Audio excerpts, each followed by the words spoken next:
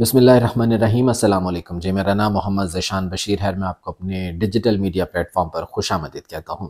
नाजरन कराम एक जानब मुस्लिम लीग नून और पीपल्स पार्टी मुलाकातों का सिलसिला जारी रखे हुए हैं और हुकूमत तश्कील देने की कोशिश कर रहे हैं। गो के अभी बहुत सी बहुत से इख्तलाफात ऐसे हैं जो कि हल नहीं हुए। बहुत सी चीज़ें ऐसी हैं जिन पर फैसले होना बाकी हैं, लेकिन बहरहाल कोशिश की जा रही है। और अभी जब मैं ये वीडियो रिकॉर्ड कर रहा हूँ तो इस वक्त भी इसहाक डार की रिहाइश का इस्लामाबाद वहाँ पर एक मुलाकात जारी है और देखना यह है कि उसका क्या नतीजा सामने आता है। लेकिन दूसरी जानी मुस्लिम लीग नून को शदीद मुश्किल का सामना भी है मुख्तलिफ़ महाजों पर। अब हुआ यह है कि नून लीगी उम्मीदवारों की जीत के तीन अहम नोटिफिकेशन मअतल कर दिए गए हैं और अदालत की जानब से ये नोटिफिकेशन मअतल किए गए हैं। इलेक्शन कमीशन ने ये नोटिफिकेशन जारी कर दिए थे, लेकिन अदालत ने इस पर हुक्म दिया कि ये नोटिफिकेशन मअतल किए जाएँ। ये कहाँ पर हुआ है, क्यों हुआ है, इस बारे में मैं आपको बताऊँगा। इमरान खान के नज़रिए की जीत हुई है। इमरान खान की आइडियोलॉजी एक बार फिर से जीत गई है। वो शख्स जो कि जेल में बैठा है, वो शख्स जो कि मुख्तलिफ़ केसेस का सामना कर रहा है, वो शख्स के जिसको हर तरह से गिराने की कोशिश कर दी गई, लेकिन एक बार फिर से उसने साबित कर दिया है कि वही इस वक्त सबसे आगे है और वही जीत रहा है। उसके नज़रिए की आइडियोलॉजी की एक बार फिर से जीत हो गई है। इस बारे में कुछ बात करेंगे, लेकिन ऑब्वियसली एक हॉट इशू इस वक्त चल रहा है सोशल मीडिया पर और वो है जाली बैलेट पेपर्स की छपाई के हवाले से। वो क्या मामला है? यकीनन आपको बहुत सी डिटेल्स आई होप के पहुँच चुकी होंगी। मुख्तलिफ़ व्लागर्स ने इस हवाले से बात की है यूट्यूबर्स ने इस हवाले से बात की है। लेकिन अब उस पर मजीद डेवलपमेंट क्या हुई है और अब आगे क्या होने के लिए जा रहा है, मैं इस बारे में आपको आगाह करूँगा।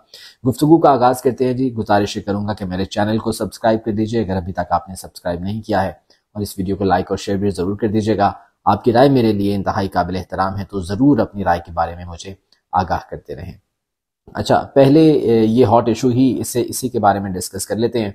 राय साकिब खरल साहब और मियाँ इमरान साहब ये दोनों लाहौर बेस्ड सहाफ़ी हैं और मियाँ इमरान नियो टीवी के साथ एसोसिएट हैं वहाँ पर आ, काम कर रहे हैं। राय साकिब खरल हम न्यूज़ के साथ जो है वहाँ पर अपनी खदमात सर अंजाम दे रहे हैं।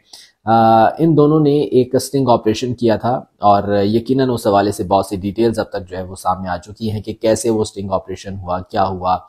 जाली बैलेट पेपर्स के हवाले से बहुत सी चीज़ें सामने आई हैं।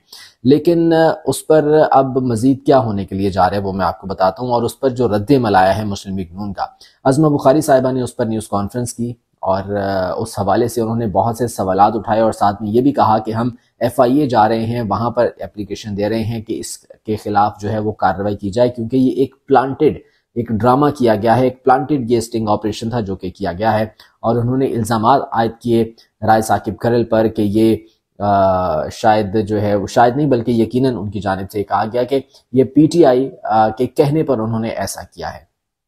तो अजमा बुखारी साहबा ने जो सवाल उठाए वो इंतहाई बेसलेस सवाल थे वो इंतहाई ऐसी बेढंगे सवाल थे, इस नौयत के सवाल थे कि जिनका जवाब वो शायद खुद भी जानते हैं। मुस्लिम नून का एक एक बंदा जानता होगा, लेकिन इसके बावजूद वो सवाल उन्होंने ऐसे शो करने की कोशिश की कि जैसे पता नहीं वो क्या चीज़ ले आई है निकाल के। पहला सवाल उन्होंने ये किया कि जी, ये सब खुलेआम क्यों हो रहा था? ये लक्ष्मी चौक में नारकली के करीब, ये लक्ष्मी चौक में, एक प्रेस में ये बैलेट पेपर छापे जा रहे थे तो ये खुलेआम क्यों हो रहा था? तो ये खुलेआम नहीं हो रहा था। उन्होंने जो ये छाप रहे थे, उन्होंने कोई बाहर कोई बैनर नहीं लगाया हुआ था, कोई बोर्ड नहीं लगाया हुआ था कि हम यहाँ पर बैलेट पेपर्स छाप रहे हैं। या उन्होंने कहीं पर कोई अनाउंस नहीं किया था कि हम बैलेट पेपर्स की जो है वो प्रिंटिंग कर रहे हैं, वो छाप रहे हैं। ये बंद कमरे में हो रहा था। और इसको छुप छुपा कर किया जा रहा था। ये तो इत्तला मिली थी, राय साकिब खरल को, मियाँ इमरान को, कहीं से इत्तला मिली थी तो वो वहाँ पर पहुँच गए और उन्होंने वो जाकर रिकॉर्ड कर लिया। तो ये पहला सवाल उनका। दूसरा सवाल, अजमा बुखारी साहब ये कर रही हैं कि जी, ये लाहौर में अगर हमने ही करवाना होता तो हम लाहौर में क्यों करवाते? मानसेहरा के बैलेट पेपर्स लाहौर में क्यों छपवाए जाते? तो उनके लिए जवाब ये है कि लाहौर में इस वक्त आपकी अपनी हुकूमत है। मरीम नवाज़ को अभी तक वो वज़ीर अला बनी नहीं है, लेकिन वज़ीर अला का प्रोटोकॉल दे दिया गया है। आईजी वहाँ पर जा रहे हैं, वहाँ पर चीफ सेक्रेटरी जा रहे हैं, जाकर मरियम नवाज़ को ब्रीफिंग्स दे रहे हैं सूबे के उमूर से मुतालिक। तो एक तरह से तो सूबा आपने टेक ओवर कर लिया है। पंजाब आपका अपना है, हुकूमत आपकी अपनी है, यहाँ पर कोई आपको पूछ नहीं सकता, कोई कुछ कर नहीं सकता, इसलिए आप लाहौर में छाप रहे थे। और मुमकिन तौर पर यही बैलेट पेपर्स वहाँ पर जाकर दोबारा से डब्बों में डाले जाने थे ताकि रिकाउंटिंग के अमल में इनको बढ़ाया जा सके। ये एक सेंस बनती है। एक सेंस बनती है, ये जो चीज़ें आ रही है ना, गो के इसमें बहुत से ऐसे तजादात भी हो सकते हैं, बहुत सी चीज़ें ऐसी हो सकती हैं जो कि डिबेटेबल हैं। और अभी तो इस वाक़े की इस मामले की छानबीन होनी है, तहकीकात होनी है। तो बहरहाल उनका दूसरा सवाल ये था कि जी, हम अगर हमने करवाना होता तो लाहौर में क्यों करवाते? तो उसकी वजह यह है कि यहाँ पर आपकी गवर्नमेंट है अपेरेंटली आपने यहाँ पर टेक ओवर कर लिया है। फिर उन्होंने कहा कि जी, ये मामला इतना बड़ा था तो इसको टीवी पर क्यों नहीं चलाया गया? तो इसकी, इसका जवाब ये है कि इस वक्त टीवी वालों पर बहुत ज़्यादा प्रेशर है इलेक्ट्रॉनिक मीडिया पर इस वक्त बहुत ज़्यादा प्रेशर है। किसका प्रेशर है? आप ही लोगों का। ये जो नून लीग है और इसके सपोर्टर्स हैं और इसको लाने वाले जो है, इनका प्रेशर है। और प्रेशर ये है कि धांधली के हवाले से कोई बात नहीं करनी। आपने ये शो करना है कि इंतबात बहुत ज़्यादा साफ़ और शफाफ हुए हैं फ्री एंड फेयर हुए हैं। ट्रांसपेरेंट इंतबात हुए हैं, इस हवाले से कोई बात नहीं करनी नून लीग ये कोशिश कर रही है कि जो धांधली की धूल मिट्टी उड़ रही है ना, इसको किसी तरह से जो है वो कारपेट के नीचे दबा दे, बजाय इसके कि इसको सेटल डाउन करें, इसको कारपेट के नीचे दबाना चाहते हैं, वो छुपाना चाहते हैं, ये कोशिश कर रहे हैं। और इसी वजह से टीवी चैनल्स को भी यही हिदायत हैं, यही डायरेक्शन हैं कि आपने धांधली के हवाले से कोई बात नहीं करनी है। और इसीलिए टीवी पर ये चल चला नहीं है। ये इतना बड़ा स्कैंडल था। अगर ये चलता तो ये एक जो है वो तमाशा तो खड़ा होना ही था, इससे एक भौचाल आ जाना था। इसलिए टीवी चैनल्स को ये डायरेक्शंस हैं कि आप इस तरह की चीज़ नहीं चलाएँगे। ये तीसरा सवाल था उनका। अच्छा जी, फिर वो कहती हैं कि ये इतनी बड़ी खबर थी तो राय साकिब खरल ने और दूसरे सहाफ़ी ने इसको अपने सोशल मीडिया अकाउंट से क्यों अपलोड नहीं किया? तो इसकी वजह यह है कि ये मामला अभी जो है वो मेच्योरिटी की तरफ़ जा रहा है। पहली बात तो ये दूसरी बात ये कि कुछ सिक्योरिटी थ्रेट्स भी हैं। ऑब्वियसली अगर इलेक्ट्रॉनिक मीडिया पर इतना ज़्यादा प्रेशर है कि आपने धांधली के हवाले से बात नहीं करनी तो अगर सोशल मीडिया पर या अपने अकाउंट से वो ये चीज़ अपलोड करते तो क्या उन पर प्रेशर नहीं होता? क्या उनके लिए कोई सिक्योरिटी थ्रेट्स नहीं होते? बिल्कुल होते। और सेकंड चीज़ ये जो कि मैंने पहले भी जिसका मैंने ज़िक्र किया कि अभी ये चीज़ मेच्योरिटी की तरफ़ जा रही है। अभी बहुत सी ऐसी चीज़ें जो कि शवाहद के साथ सामने आएँगी होपफुली आने वाले एक दो रोज में या आने वाले चंद घंटों में राय साकिब खरल या मियाँ इमरान शवाहिद के साथ चीज़ें सामने लेकर आए। ये जो आपने प्रेस कॉन्फ्रेंस कर दी ऑब्वियसली अब इसका जवाब भी तो देना है उन्होंने। तो वो ये वो ये वेट कर रहे हैं कि उनके पास जो है ये शवाहिद मज़बूत हो जाए और फिर इन शवाहिद के साथ वो सामने और मुझे यकीन है मुझे यकीन है कि जब राय साकिब खरल या मिया मियाँ इमरान जिन्होंने ये स्टोरी लेकर आए थे आ, वैसे तो उन्होंने ये खुद से ब्रेक नहीं की थी स्टोरी अपलोड नहीं की थी, ये भी उनकी सहाफती ज़िम्मेदारी थी कि उनका ये ख्याल था कि जब तक ये चीज़ें कंफर्म नहीं हो जाती हैं, जब तक शवाहिद मज़बूत हमारे हाथ नहीं आ जाते हैं, तब तक हम इस स्टोरी को ब्रेक नहीं करेंगे, तब तक हम इसको सोशल मीडिया पर भी अपलोड नहीं करेंगे, लेकिन ऑब्वियसली पीटीआई के हाथ, जो है पीटीआई के सोशल मीडिया विंग के हाथ कहीं से ये चीज़ लग गई, अब वो मुतासरा पार्टी है। पीटीआई मुतासरा पार्टी है, उसको मानता हूँ मैं कि ये नहीं करना चाहिए था, अभी ये नहीं करना चाहिए था जब तक इस पर कंफर्मेशन नहीं आ जाती। लेकिन ऑब्वियसली पीटीआई मुतासरा पार्टी है, वो इस तमाम तर फ़ेज़ से गुजर रही है तो उसने उसके हाथ ये लगा तो उसने फौरी तौर पर अपलोड कर दिया और उसके बाद राय साकिब खरल और मियाँ इमरान पर सवाल उठना शुरू हो गए। तो ये जनाब उनकी जानब से कहा गया कि सोशल मीडिया पर अपलोड क्यों नहीं किया गया तो ये उसकी वजह थी। उसके बाद उन्होंने कहा कि जी, हम अब एफ़ आई ए में जा रहे हैं और वहाँ पर एप्लीकेशन देंगे। जी ज़रूर जाएँ आप एफ़ आई ए में नून लीग को जाना चाहिए। आ, अगर उस, उसको लगता है कि ये गलत है तो जाना चाहिए लेकिन ये फैसला कौन करेगा कि ये सही है या गलत है? पहले तहकीकात तो करवा लें। पहले इन्वेस्टिगेशन तो करवा लें कि ये मामला है क्या? ये जो बैलेट पेपर्स छापे जा रहे थे, क्या ये वाकई सही छापे जा रहे थे? या आपके ख्याल में बकौल आपके ये जाली प्लांटेड चीज़ें हैं तो पहले तहकीकात करवा लें, कोई सबूत के साथ जो है वो सामने चीज़ें लेकर आए अवाम को बताएँ अवाम अवाम ये सब कुछ देख रहे हैं ना सोशल मीडिया पर। अवाम को बताएँ कि जी ये झूठ है, ये ये हकीकत है, वो हकीकत अवाम के सामने लेके आए, फिर आप जाए एफ़ आई ए में, फिर आप जाके एप्लीकेशन दें तहकीकत करवा लें। तो ये अजमा बुखारी साहिबा की प्रेस कॉन्फ्रेंस थी और नून लीग वाले इस हवाले से बहुत से भोंडे किस्म के सवाल उठा रहे हैं। मेरे ख्याल से वो बिल्कुल बेसलेस सवाल हैं। जिसके हवाले से कोई जो है वो कुछ नहीं कहा जा सकता। लेकिन बहरहाल उम्मीद है कि राय साकिब खरल या मियाँ इमरान जल्द मज़बूत शवाहद के साथ सामने आएँगे इस स्टोरी के हवाले से, जो कि अभी शायद उनके ख्याल में इतनी मेच्योर नहीं थी कि इसको अपलोड किया जा सकता। तो उसके लिए हम और आप यकीनन इंतज़ार करेंगे। अच्छा जी, अब आ जाते हैं कि नून लीगी उम्मीदवारों की जीत के तीन अहम नोटिफिकेशन मअतल कर दिए गए हैं। मामला ये है कि इस्लामाबाद के तीन अहम हलके हैं और उन तीन अहम हलकों से मुस्लिम लीग नून को जितवाया गया था। वो तीन हलके हैं जी, एन एस छियालीस, एन एस सैंतालीस और एन ए अड़तालीस। इस्लामाबाद से ये तीनों हलके हैं।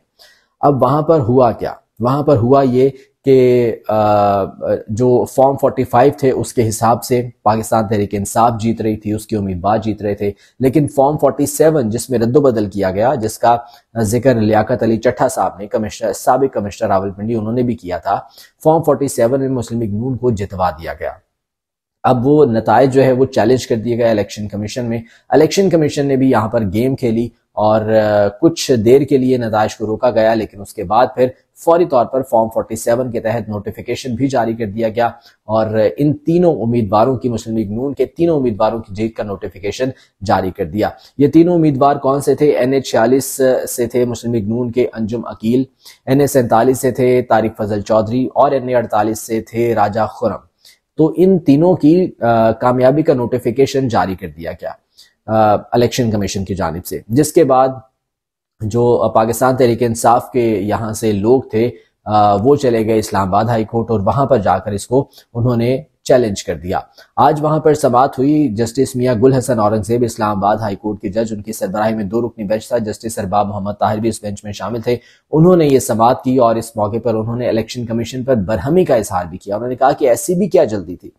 हमें देखना पड़ेगा कि किस अफसर ने ये नोटिफिकेशन जारी किया है ये रिमार्क्स उनकी जानब से दिए गए।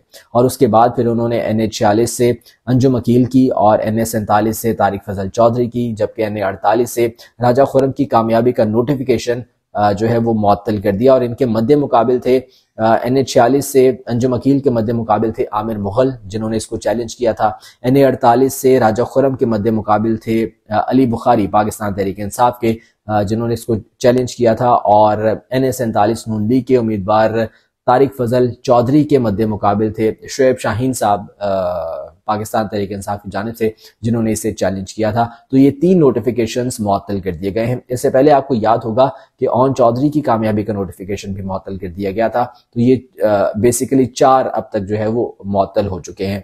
तो अब देखना यह है कि ये मामला कितना लिंगर ऑन होता है। ऑब्वियसली जो ट्राइब्यूनल्स बनाए गए हैं, वहाँ पर ये मामला जाएँगे। साठ दिन का टाइम होता है ट्राइब्यूनल्स के पास तो अभी हम देख रहे हैं कि ये मामला थोड़ा लिंगर ऑन होगा, थोड़ा लंबा चलेगा।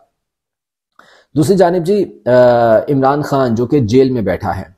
उसने वहाँ पर बैठकर ये साबित कर दिया है कि उसका नज़रिया सबसे मज़बूत है। उसका उसकी आइडियोलॉजी जो है वो सबसे मज़बूत है। और एक बार फिर से इमरान खान के नज़रिए की जीत हुई है इमरान खान की आइडियोलॉजी की जीत हुई है। आ, पाकिस्तान तहरीक इंसाफ ने सुन्नी इतिहाद काउंसिल के साथ इतिहाद किया और उसके बाद इस जमात के साथ उन्होंने पार्लियामेंट में जाने का ऐलान किया है। आपको याद होगा कि पहले मजलिस वहादतुलमसलिमीन के साथ इतिहाद का ऐलान किया गया था। अलामा राजा नासिर अब्बास के साथ मुलाकात हुई थी। काफ़ी देर काफ़ी अरसा जो है उनसे बातचीत चलती रही। आ, उसके बाद प्रोपागेंडा ये किया गया कि जी देखें एक शिया तंजीम के साथ इमरान खान ने इतिहाद कर लिया ये कर लिया वो कर लिया लेकिन ऐसी कोई बात नहीं थी।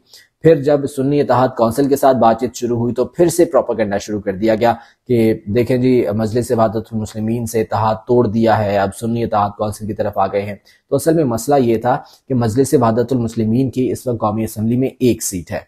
और उन्होंने रिज़र्व सीट के लिए भी कोई एप्लीकेशन नहीं दी थी इलेक्शन कमीशन में अप्लाई नहीं किया था। तो अगर पाकिस्तान तहरीक इंसाफ, मजलिस मुस्लिमीन के साथ जाती तो हो सकता है कि इलेक्शन कमीशन की जानब से ये एतराज़ आयद कर दिया जाता कि पाकिस्तान तहरीक इंसाफ को या मजलिस मुस्लिमीन ने चूँकि पहले कोई एप्लीकेशन नहीं दी थी, लिहाजा रिज़र्व सीटें नहीं मिल सकती। तो पाकिस्तान तहरीक इंसाफ भी उन रिज़र्व सीटों से महरूम हो जाती। लिहाजा ये फैसला किया गया कि सुन्नी इतिहाद काउंसिल के साथ जाया जाएगा। साहबजादा हामिद रजा के साथ इस सिलसिले में मुलाकात हुई और इस मुलाकात के बाद ये फिर फैसला किया गया कि रिज़र्व सीटों के हसूल के लिए सुन्नी इतिहाद काउंसिल के साथ इतिहाद किया जाएगा। अब जब ये तमाम लोग प्रेस कॉन्फ्रेंस करने के लिए आए तो वहाँ पर जो मंजर था, वो बहुत दिलकश मंजर था। बैरिस्टर गौहर बैठे थे, रऊफ हसन बैठे थे वहाँ पर उमर अयूब बैठे थे, जनरल सेक्रेटरी पाकिस्तान तहरीक इंसाफ के। इसके साथ साथ मस्जिद वादतुलमसलिमिन के अलामा राजा नासिर अब्बास साहब वहाँ पर बैठे थे, सुन्नी इतिहाद कौंसिल के साहबजादा हामिद रजा साहब वहाँ पर बैठे थे। यानी कि सुन्नी शिया के हवाले से जो एक ये इम्पैक्ट क्रिएट किया जाता है कि इनकी आपस में बनती नहीं है, ये तफर के बाजी है, में पड़े रहते हैं, ये है, वो है। लेकिन आज उस तासर को भी जायल कर दिया। किसने? इमरान खान के नज़रिए ने। इमरान खान के नज़रिए ने इन तमाम लोगों को एक प्लेटफॉर्म पर यकचा कर दिया है, एक प्लेटफॉर्म पर मौजूद हैं और आज मिलकर ये आगे बढ़ रहे हैं। आप देखें कि इससे बढ़कर और क्या पैगाम होगा कि शिया और सुन्नी आज एक प्लेटफॉर्म पर इकट्ठे होकर, एक नज़रिए पर चलने के लिए तैयार हैं और एक दूसरे का हाथ थाम कर आगे जा रहे हैं। तो शिया सुन्नी भाई भाई का जो नारा था, वो इमरान खान के इस नज़रिए ने सच कर दिखाया है। इमरान खान, जो कि जेल में बैठा है, लेकिन उसका नज़रिया इतना मज़बूत है कि ये तमाम लोग उस पर खड़े हैं और आज आगे के जाने मिलकर चल रहे हैं। तो ये बहरहाल एक बहुत पॉजिटिव चीज़ सामने आई है। सुन्नी इतिहाद काउंसिल के साथ इतिहाद करने के बाद इलेक्शन कमीशन में अब रिज़र्व सीट्स के लिए भी अप्लाई किया जाएगा। Definitely Sunni Ittehad council apply करेगी और जितना टोटल नंबर है बैरिस्टर गौहर के मुताबिक तो ये 180 के करीब नंबर बनता है। अगर तमाम सीट्स पाकिस्तान तहरीक इंसाफ को वापस मिल जाती हैं, लेकिन ऑब्वियसली ये इतना आसान नहीं होगा। गो के फॉर्म 45 मौजूद हैं, लेकिन फिर भी ये प्रोसेस थोड़ा लिंगर ऑन चलेगा, अभी थोड़ा डिफ़िकल्ट है, थोड़ा जद्दोजहद करनी पड़ेगी। तो देखना यह है कि कितना टाइम लगता है, लेकिन reserve seats definitely Pakistan Tehreek Insaf को सुनी इतिहाद काउंसिल को मिल जाएँगी। तो पार्लियामेंट में अब इस जमात के साथ पाकिस्तान तहरीक इंसाफ जारी है। और अब से कुछ देर में हो सकता है कि नून लीग और पीपल्स पार्टी के तहत के हवाले से भी कुछ चीज़ें सामने आ जाएँ। अगली वीडियो में उस हवाले से बात करेंगे। आज के ब्लॉग से मुझे इजाज़त दीजिए। अल्लाह ने के बाद